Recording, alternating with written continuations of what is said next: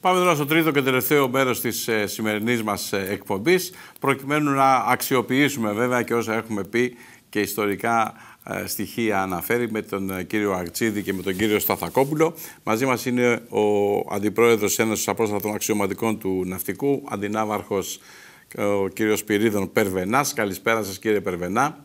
Καλησπέρα σας.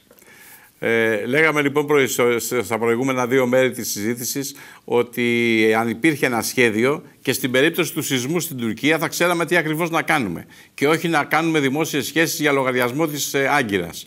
Και στην περίπτωση του σεισμού της Συρίας, πολύ περισσότερο. Θα ξέραμε και εκεί τι να κάνουμε για να αναστήσουμε την ελληνική παρουσία των 1,5 εκατομμυρίου ε, Ρωμιών που υπάρχουν στην περιοχή με πλήρη συνείδηση ότι είναι Έλληνες, με πλήρη συνείδηση οι ίδιοι ότι είναι Έλληνες και φυσικά εάν είναι 1,5 εκατομμύριο αυτοί που είναι ε, χριστιανοί, καταλαβαίνετε ότι σε αυτές τις μουσουλμανικές κατά συντριπτική πλειονότητα χώρες οι, αυτοί που ανήκουν σε διάφορες αδελφότητες και σε διάφορα τάγματα, ιδίως Μπεκτασία, Λεβί, Ρουμί και διάφορα άλλα ονόματα, καλά η Ρουμί το λέει και το όνομά τους.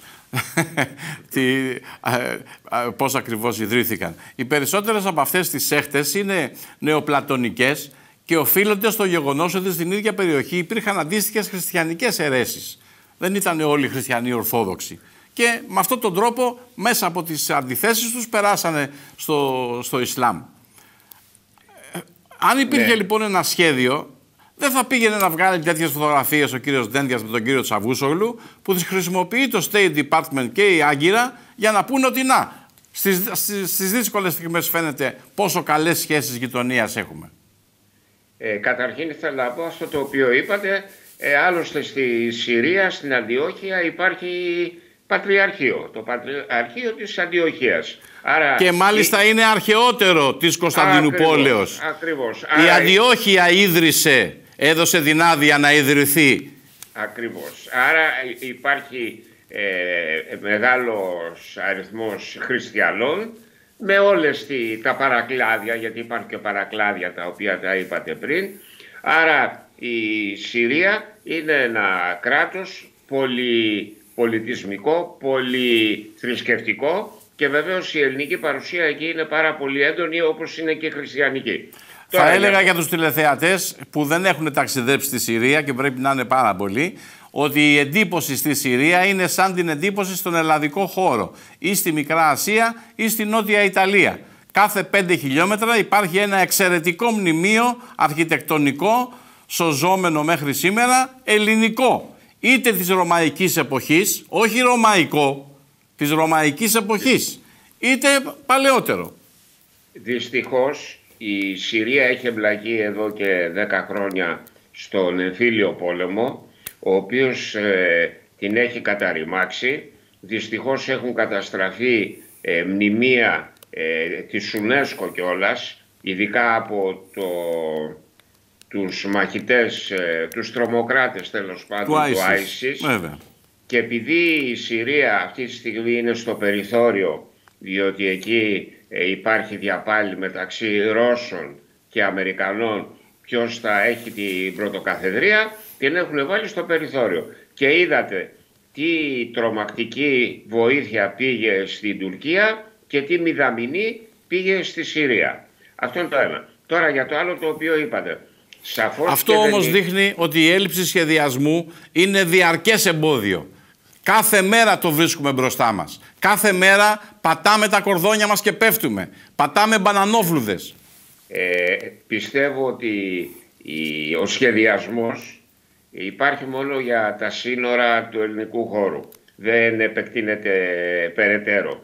Και επειδή ο σεισμός παρόλο που και στο παρελθόν είχε εφαρμοστεί η διπλωματία των σεισμών, αυτή τη στιγμή βρεθήκαμε τελείως ε, ανέτοιμοι και τα αντανακλαστικά μας ήταν βάση της ε, φιλανθρωπίας.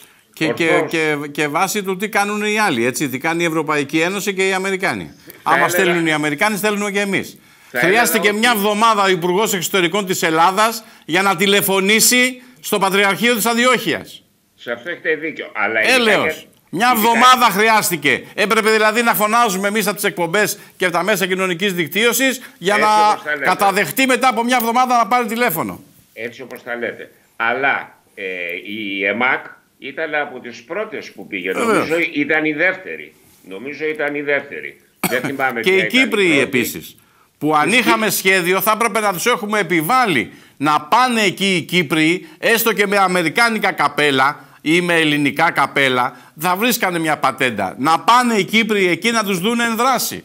Ναι, αλλά δεν θα τους αφήνανε να είναι με την Κυπριακή Μα δεν θα σημαία. μπορούσαν να τους διώξουν μετά όμως. Εδώ σε θέλω. Ε, δηλαδή η- πρέπει να η- έχεις σχέδιο πάντοτε. Οι, οι Τούρκοι είναι ικανοί για όλα. Λοιπόν, το σχέδιο για να το συνεχίσουμε δεν υπήρχε οπωσδήποτε ένα σχέδιο. Η κυβέρνηση έδρασε αυθόρμητα. Πιστεύω ότι αυτό το οποίο έκανε ήταν το πρέπον, διότι όταν ακόμη και ο εχθρός σου, όταν υφίσταται μια ανθρωπιστική συμφορά, Ακριβώς. πρέπει- Διδάσκεις ανθρωπισμό. Ακριβώς, έτσι όπως το λέτε και όχι μόνο αυτό, αλλά και η θρησκεία μας λέει βοήθα τον διπλανό σου. Ναι. Άρα και θρησκευτικά και Βέβαια. πολιτισμικά. Και, η- και η θρησκεία στον πολιτικά, πολιτισμό περιλαμβάνεται. Βεβαίως. Ε, είμαστε πολύ εντάξει και δώσαμε ένα, ένα μήνυμα ε, στους συμμάχους, στην ανθρωπότητα γενικά, ότι εμείς οι Έλληνες αυτά τα πράγματα τα βάζουμε στην άκρη και κοιτάμε πρώτα να σώσουμε αυτούς οι οποίοι κινδυνεύουν.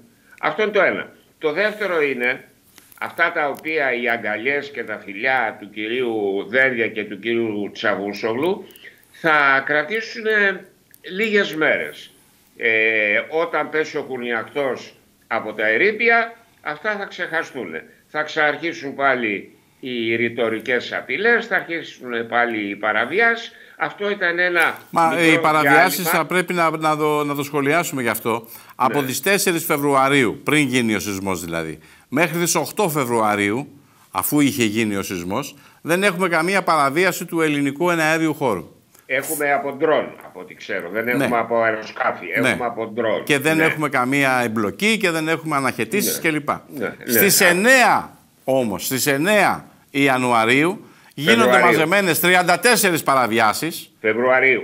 Φεβρουαρίου, 9 Φεβρουαρίου. Ε, Ε, είπατε Ιανουαρίου. γι' Α, αυτό. ναι, ναι, συγγνώμη. Η Φεβρουαρίου. Ε, Ναι. Δηλαδή τρεις μέρες μετά το σεισμό. 9 ε, Φεβρουαρίου γίνονται 34 μαζεμένες και έκτονται 15, 13, 14, 18 την ημέρα.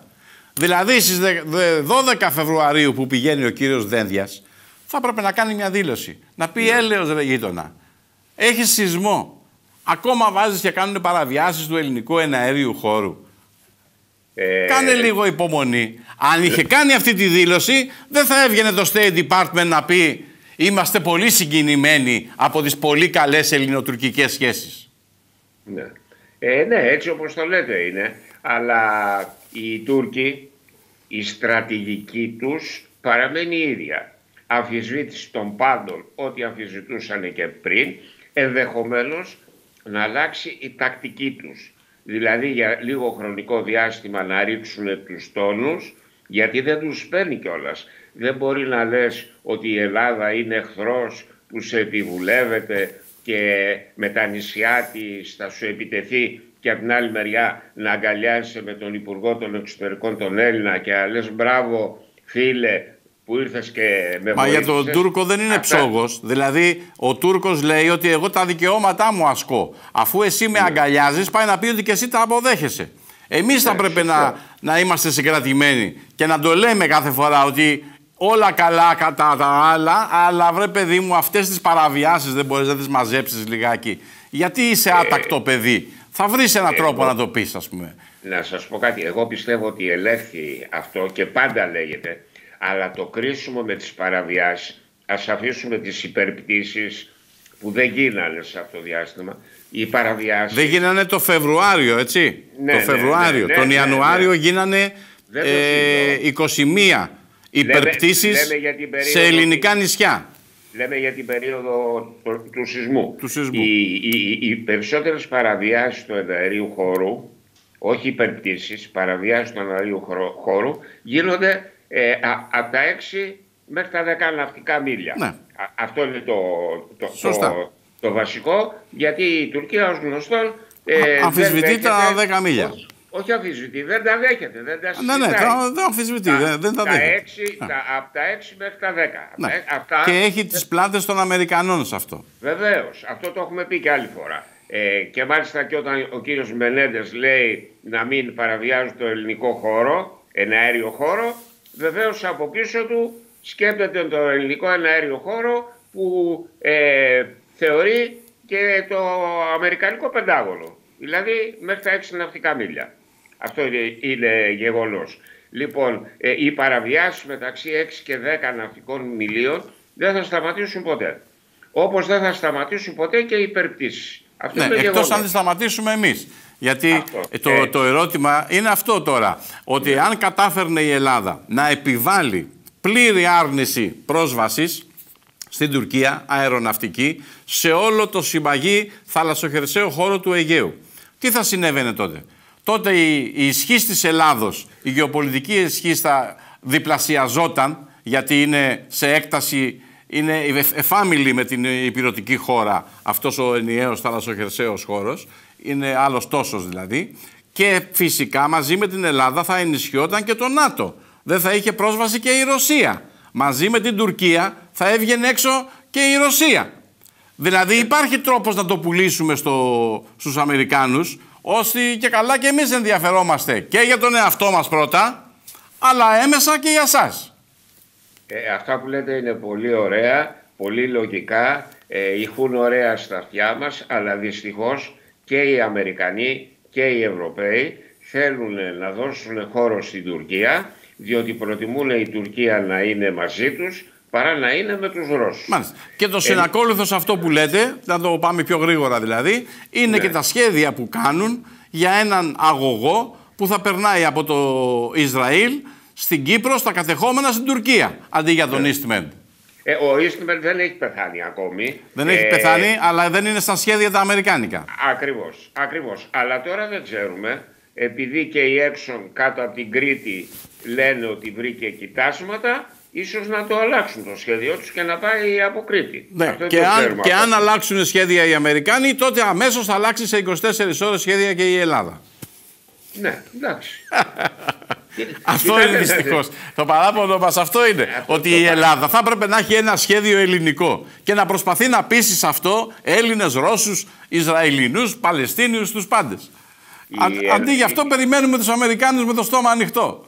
Τους Αμερικάνους και τους Γάλλους, διότι ελπίζουμε και πιστεύουμε κιόλας ότι αν γίνει κάτι αλαίμια, να το πω έτσι, θα προστρέξουν οι Αμερικανοί και οι Γάλλοι προτού ε, ας πούμε το θερμό επεισόδιο πάρει μεγάλη έκταση. Αυτή είναι η ελπίδα μας και τα πιστεύω μας.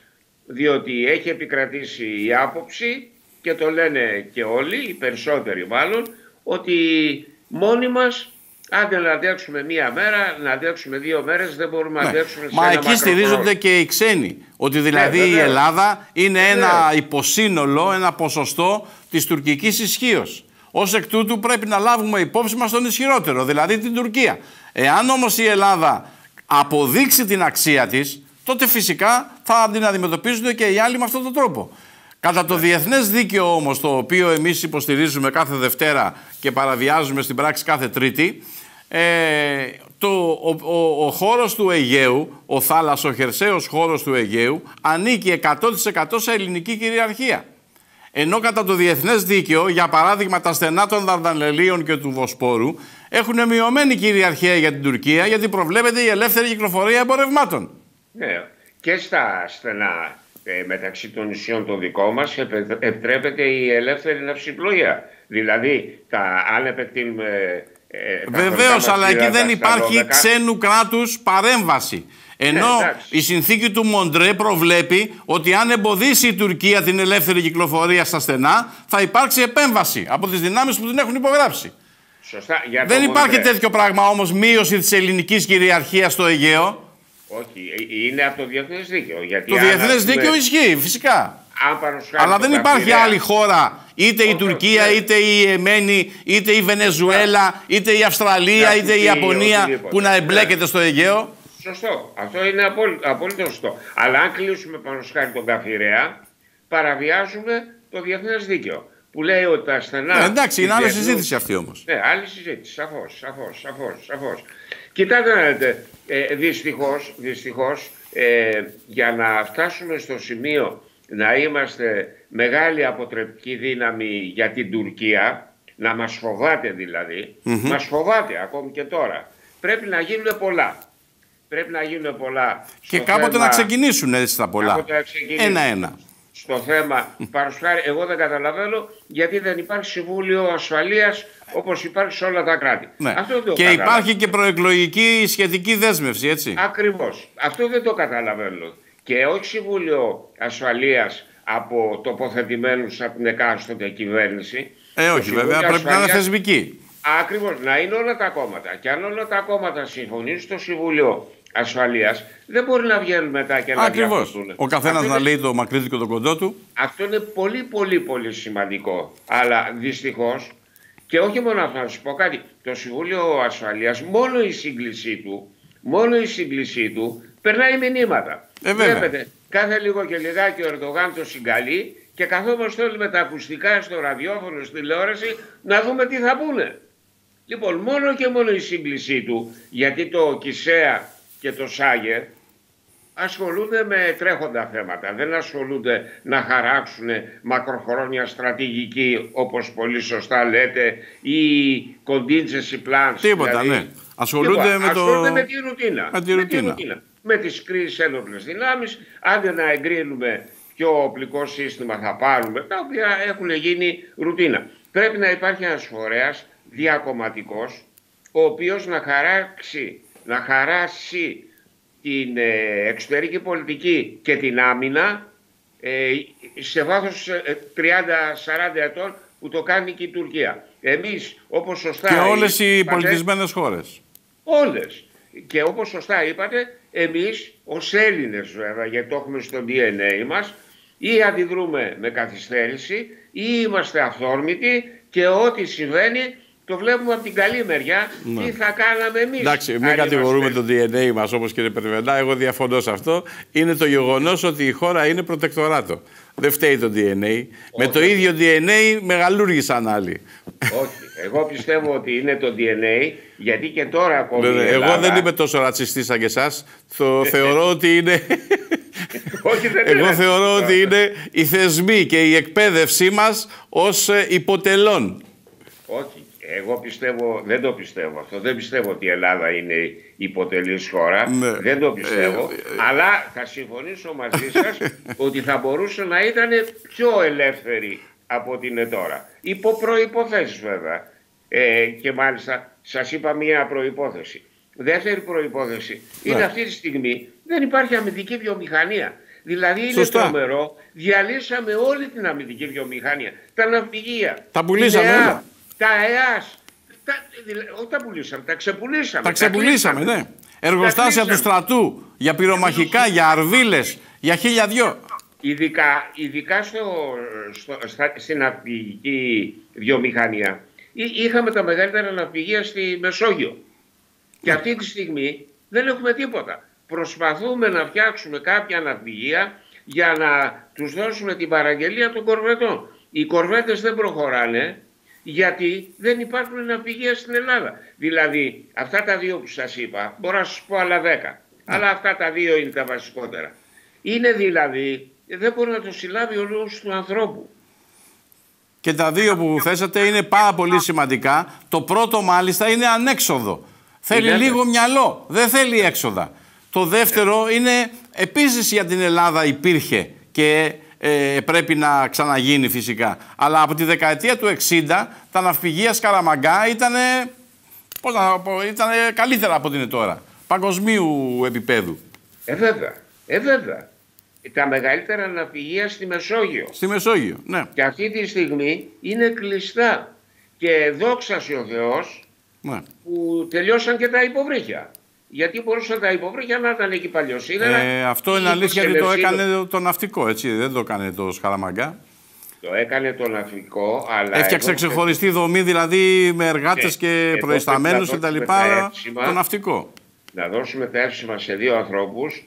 Στον κύριο Βενιζέλο που έχει πολύ κατηγορηθεί για αυτό το θέμα, γιατί άλλαξε τη ναι.